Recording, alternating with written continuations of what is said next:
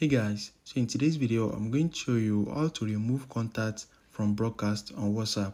So if you have created a broadcast message for for some of your contacts and you want to remove some people from the broadcast let me show you how it is done. So the first thing you need to do is open your whatsapp and you need to click on your settings right here. After that click on broadcast list. Once you click on broadcast list you need to select the broadcast. So let me select this first one.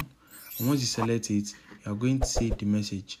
So click on message at the top right here or if if you have added a name just click on the name at the top and you're going to see list name. As you can see i have not created a name for this one so let me select this one. So let me click on the name or the message at the top. And right here you are going to see the people you have added to the broadcast. So now for you to remove someone or add a new person to it just click on edit list. Once you click on edit list can just click on this cancel right here at the top to remove contacts from the broadcast.